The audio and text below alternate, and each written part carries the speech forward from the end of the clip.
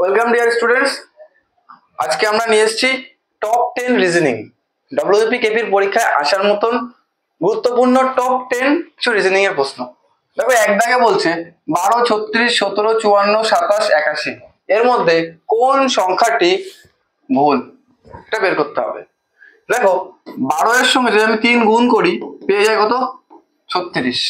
একইভাবে ছত্রিশের সঙ্গে এখানে গুণের সম্পর্ক নেই, ভাগের সম্পর্ক। ছত্রিশটাকে যদি আমি দুই ভাগ করি, কত পাই আমরা? আঠেরো। একইভাবে যদি আবার আঠারোর সঙ্গে আমি তিন গুণ করি, পেয়ে যাই চুয়ান্ন। আবার চুয়ান্নর সঙ্গে যদি আমি দুই ভাগ করি, পেয়ে যাই কত? সাতাশ। সাতাশের সঙ্গে আবার তিন গুণ হবে, পেয়ে যাব আমরা একাশি। ঠিক আছে? যে সিকোয়েন্সটা এখানে আছে। কিন্তু এখানে আমাদের প্রশ্ন এসছে, প্রশ্নে ছিল সতেরো, কিন্তু আমাদের লজিক অনুযায়ী হবে এখানে বসবে আঠেরো। তাহলে ভুল আছে কোনটা? অপশন বি সতেরো, এটা হচ্ছে ভুল। সঠিক সম্পর্কযুক্ত সংখ্যাটি নির্ণয় করো। ষোলো এর সঙ্গে চল্লিশের সম্পর্ক, কুড়ি এর সঙ্গে সম্পর্কটা হবে কার? ঠিক আছে? দেখো, ষোলো থেকে চল্লিশ, কত দূরত্ব? ষোলো। চল্লিশ থেকে আমি ষোলো বিয়োগ করি, কত পাই আমি? চার, এক, দুই, চব্বিশ। কুড়ির সঙ্গে চব্বিশ যোগ করলে কত হবে আমাদের? চুয়াল্লিশ হবে। অপশানে নেই। তো এখানে আমাদের গুণের মধ্যে তারা দেখব। আমি ষোলোর সঙ্গে দুই গুণ করি, পাই আমরা বত্রিশ, আবার যদি ষোলোর সঙ্গে তিন গুণ করি, পাই আমি তিন ষোলো আটচল্লিশ। তাদের মাঝখানে একটা সংখ্যা পাচ্ছি চল্লিশ। দেখো, যদি আমি ষোলোর সঙ্গে টু পয়েন্ট ফাইভ গুণ করতাম, যদি আমি ষোলোর সঙ্গে টু পয়েন্ট ফাইভ গুণ করতাম, তাহলে আমি পেতাম কত? চল্লিশ। তখন আমি পাই কত? চল্লিশ। একইভাবে কুড়ির সঙ্গে টু পয়েন্ট ফাইভ গুণ করে দেখো অপশানে আছে কিনা। যদি অপশানে থাকে, তাহলে সেটা উত্তর, তা না হলে অন্য কোনো লজিক তাহলে কুড়ির সঙ্গে টু পয়েন্ট ফাইভ গুণ করলে আমরা পাই কুড়ি দুগুণ চল্লিশ আর অর্ধেক পঞ্চাশ। অর্থাৎ আমাদের অপশান সি হয়ে যাবে এখানে আমাদের সঠিক উত্তর। অপশন সি আমাদের সঠিক উত্তর। চলো, পরের প্রশ্ন। বলছেন প্রদত্ত বিকল্পগুলির মধ্যে কোনটি আলাদা? যে বিকল্পগুলি আছে, তার মধ্যে কোনটি আলাদা সেটা নির্ণয় করো। সংখ্যা দেখতে পাচ্ছি, এগারো, একশো পনেরো, দশ নব্বই, নয়, বাহাত্তর, বিয়াল্লিশ, একশো দুই। এটা দেখে আমাদের মাথায় প্রথম যেটাই আসে যে দশের সঙ্গে নয় গুণ করে বা দশের গুণিতক আছে পরেরটা নব্বই, একইভাবে আট নয়ের সঙ্গে আট গুণ করে পাই বাহাত্তর, কিন্তু বিয়াল্লিশ এবং এগারোর সঙ্গে গুণ করে বা আশেপাশে এগুলো আসে না। ঠিক আছে? তো এবার যেটা করব, বিয়াল্লিশ আর একশো দুই যোগ করব, কত হয়? একশো চুয়াল্লিশ মানে বারোর স্কোয়ার নয় আর বাহাত্তর যোগ করলে পাই আমরা এইটটি ওয়ান মানে নয়ের স্কোয়ার দশ আর নব্বই যোগ করলে পাই একশো মানে দশের স্কোয়ার এগারো আর একশো পনেরো যোগ করলে পাই একশো ছাব্বিশ। যেটা কোনো স্কোয়ার নাম্বার না।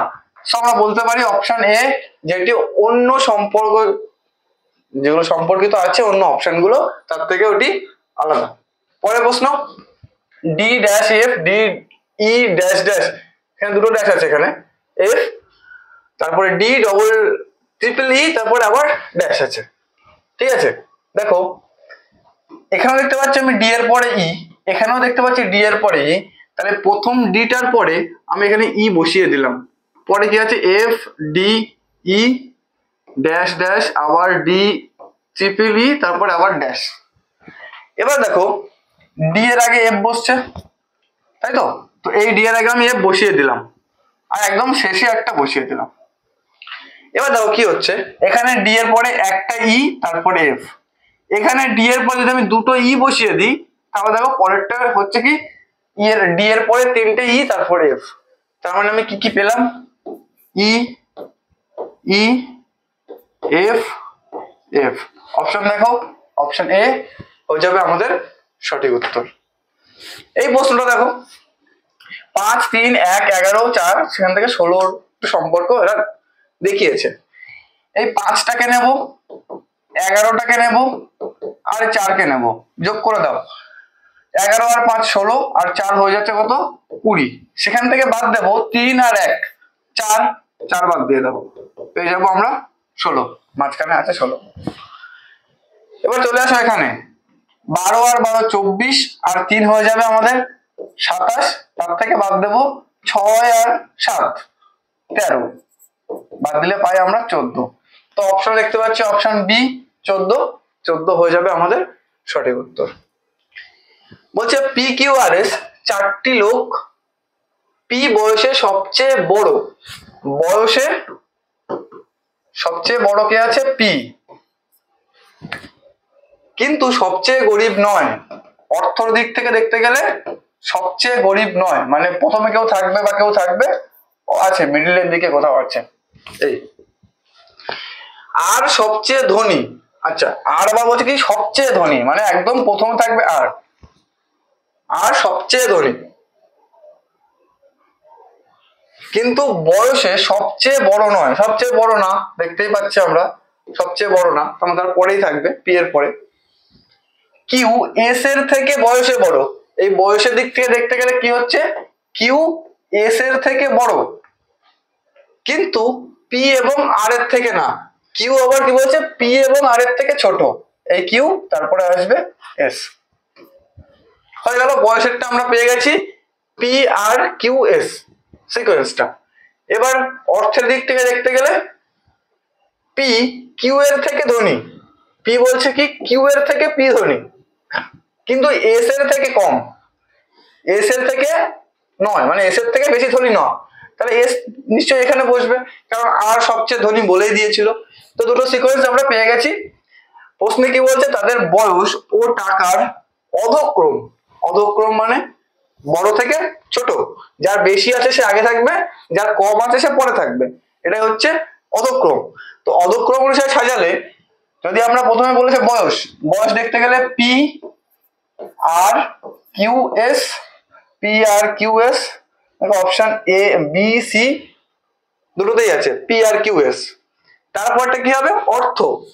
R S P Q R S P Q R S P Q হয়ে গেছে। অপশন বি হয়ে গেছে আমাদের এখানে সঠিক উত্তর। আর এস পি কিউ ঠিক আছে? বলেছে যে নিম্নের ছবিতে কতগুলি সামন্তরিক আছে? এবার সামন্তরিকের তোমরা সবাই অনেকেই করেছ। এগুলো কমন যে বর্গক্ষেত্র কটি আছে বা হচ্ছে আয়তক্ষেত্র গণনা, সবই করেছ তোমরা। যদি সামন্তরিক দিয়ে দেয় পরীক্ষার ক্ষেত্রে, তখন কি করবে? শুধু এটাই মনে রাখবে, সামন্তরিক আর আয়তক্ষেত্র সেম তুমি যেভাবে আয়তক্ষেত্র বের করবে, সামন্তরিককেও তুমি সেইভাবে বের করবে। কীভাবে দেখো? এক, দুই, তিন, চার, পাঁচ, পাঁচটা ঘর আছে, পাঁচ লিখে দিলাম। এদিক দিয়ে দেখে কটা ঘর আছে? একটা, দুটো, তিনটে ঘর আছে। ঠিক আছে? এটাকে যোগ করে দাও। নিজেদের মধ্যে যোগ করে দাও। পাঁচ আচ্ছা নয়, আর তিন, বারো, চোদ্দ, আর একে পাচ্ছি আমি এখানে পনেরো। এবার এটাকে। তিন, আর দুই, পাঁচ, আর একে ছয়।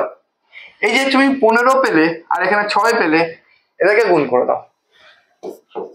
পনেরো ইন্টু ছয়। ছয় পনেরো হয়ে যাবে কত? নব্বই। তো এটা হয়ে গেল আমাদের সঠিক উত্তর। যদি এরকম উপরে পাঁচটা, আর নিচে কটা তিনটে, এক, দুই, তিন, আর উপরে থাকবে পাঁচটা। দুই, তিন, এক, দুই, তিন, চার, পাঁচ, দিয়ে দিল। দিয়ে বলল কি? আয়তক্ষেত্র। বলল আয়তক্ষেত্র। একই ব্যাপার। সেক্ষেত্রে উত্তর হবে আমাদের নব্বই। ঠিক আছে? কি করব? এদেরকে নিজেদের মধ্যে যোগ করে দেবো। পেলাম কত? পনেরো। এদেরকেও করব। ছয়। ছয় আর পনেরো গুণ করে। দেবো বেরিয়ে যাবে আমাদের উত্তর নয়। থ্রি ফোর থ্রি তিনশো তেতাল্লিশ। তিনশো তেতাল্লিশ দেখেই আমাদের মনে পড়ে যায় এই সেই কিউবিক নাম্বার ছত্রিশ দেখেই মনে পড়ে যায় এই স্কোয়ার নাম্বার আঠেরো। স্কোয়ার নাম্বারও না কিউবিক নাম্বারও না। দেখো, এদেরকে নিজেদের মধ্যে গুণ করে দাও। মানে তিন, চার, তিন ছিল তো? তিনে চারে বারো, তিন বারো, ছত্রিশ। পেলাম ছত্রিশ। ছত্রিশ আছে। এবার এটাকে গুণ করে দাও। তিন, ছয়, আঠেরো। পেয়ে গেছে আঠেরো। এবার এদেরকে গুণ করে দাও। আট এককে আট। তো আমাদের অপশন হয়ে যাবে অপশন বি আট। ঠিক আছে? পরে শূন্য স্থান পাঁচ, আট, চোদ্দ, নয়, ছয়, একুশ, সাত, দুই, ওখানে কত হবে? দেখো, সম্পর্ক এখানে রোতেও থাকতে পারে, আবার কলামেও থাকতে পারে। ঠিক আছে? তোমার সব দিক দিয়ে ট্রাই করতে হবে। দেখো, প্রথমে কি আছে? পাঁচ আছে। আমি পাঁচকে ডবল করলাম। পাঁচকে ডবল করে দিলাম। পাঁচ দুগুণ দশ। আর, আট আছে না? আটকে দুই দিয়ে ভাগ করে দিলাম। কত পাচ্ছি আমরা? চার। যোগ করে দাও, চোদ্দ। একইভাবে নয় ডবল করলে আঠেরো, ছয়কে হাফ করলে তিন, আঠেরো আর তিন, একুশ। সাতকে ডবল করে দাও, চোদ্দ।